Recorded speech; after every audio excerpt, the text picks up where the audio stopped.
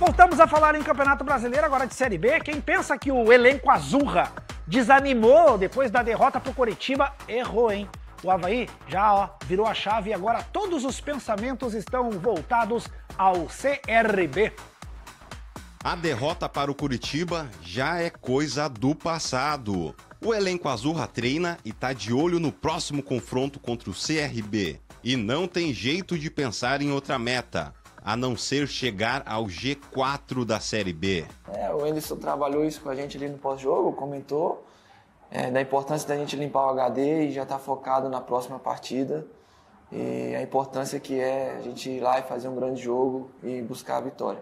Titular nas últimas seis partidas, o volante Zé Ricardo sabe bem o caminho para chegar ao acesso à elite do futebol brasileiro. O cara aí tem história com o professor Anderson Moreira teve uma experiência muito boa, fomos campeões da Série B em 2017, então fico feliz de poder trabalhar com ele novamente e agora num, num, num grande clube como o Havaí, espero que a gente possa atingir o objetivo maior da, do clube, que é o, o acesso. O Leão da Ilha segue em Curitiba na tarde desta quinta-feira e depois embarca para Maceió para encarar o CRB no estádio Rei Pelé no sábado, às 6 horas da tarde.